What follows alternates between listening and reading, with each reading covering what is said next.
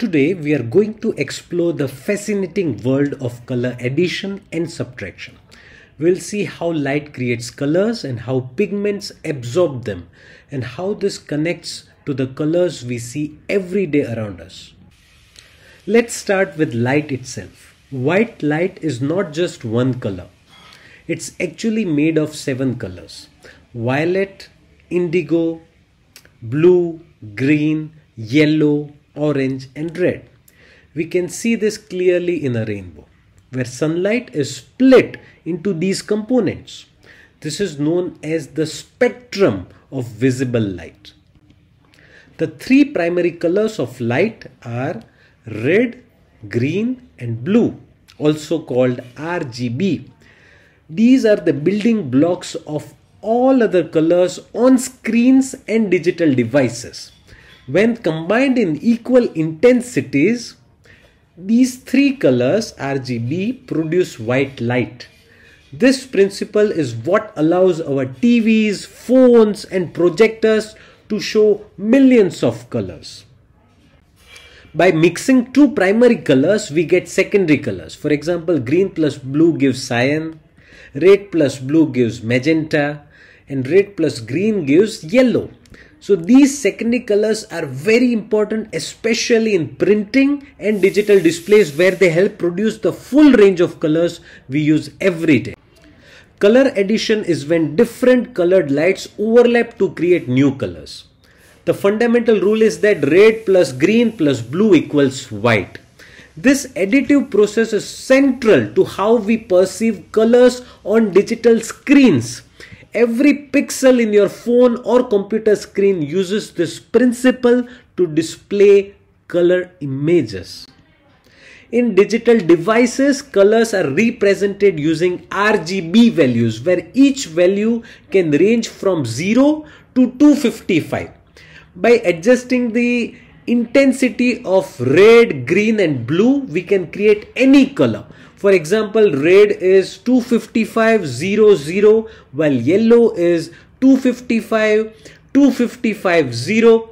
So this system allows over 16 million possible colors giving us the rich variety we see on screens. Color addition has many real world applications. In stage lighting, designers mix colored lights to create moods and effects. On TVs and computer monitors, Pixels use red, green and blue light to produce the entire spectrum of colors. Even LED lighting uses RGB technology where mixing red, green and blue LEDs create any desired color of light.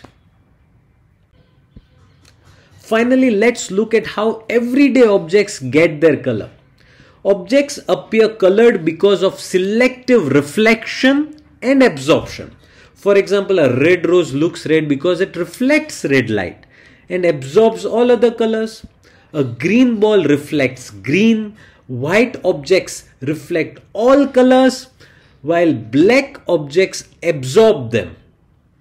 So this is an example of color subtraction in action. So objects get their color through selective reflection and absorption the color of an object doesn't only depend on the object itself, it also depends on the light source shining on it.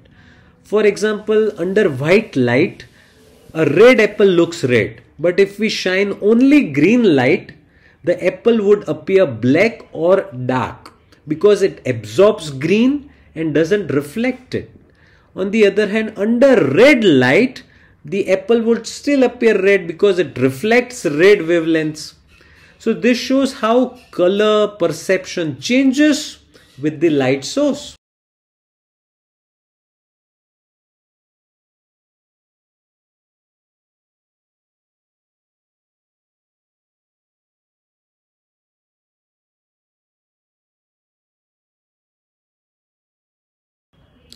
Now let's talk about color subtraction.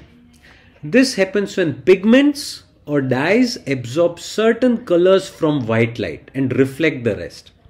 The color you see is the reflected part. For example, yellow pigment absorbs blue light but reflects red and green. This principle is the basis of how paints, inks and dyes work.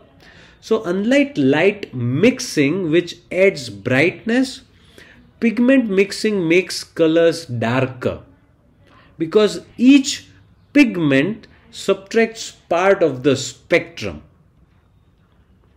Here we see how yellow is formed by color subtraction. So white light contains red, green and blue.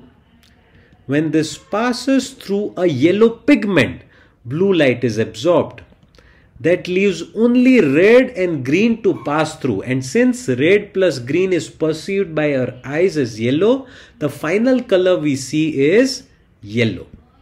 So the role of yellow pigment is to subtract blue and reflect red plus green.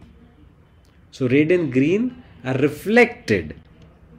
Now let's see how cyan is formed. White light again contains R, G and B. When it passes through cyan pigment, the red light is absorbed. What remains is green and blue. So green and blue are reflected which combine to form cyan. So cyan pigment looks cyan because it subtracts red from white light and reflects the rest.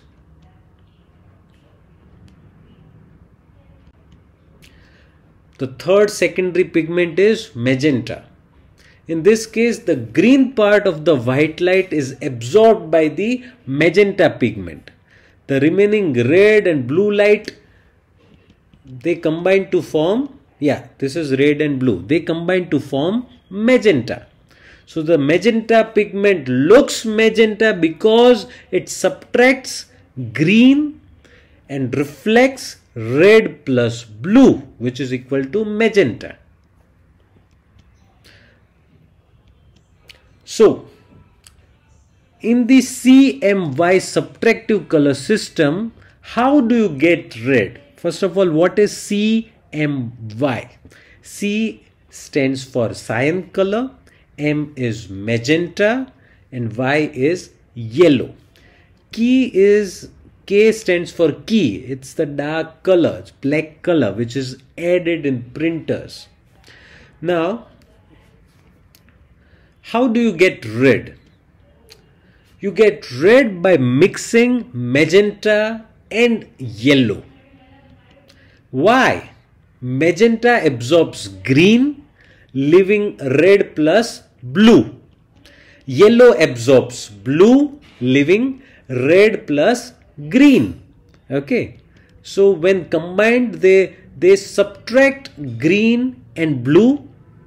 So when they're combined, what happens? Green and blue are subtracted, leaving only red.